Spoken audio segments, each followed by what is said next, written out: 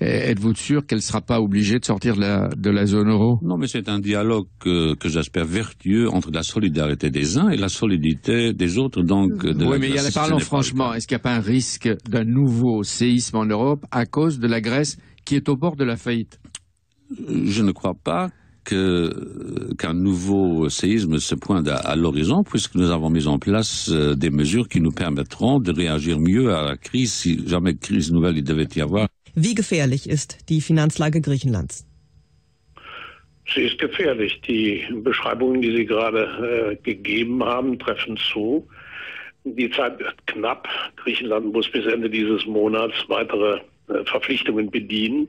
Griechische Banken brauchen dringend Geld. Die Möglichkeiten der griechischen Nationalbank, die mit Geld zu versorgen, sind fast erschöpft. Deshalb wäre es gut, Griechenland würde jetzt endlich äh, die Verpflichtungen, die es eingegangen ist, erfüllen. Dann fließt auch wieder Geld.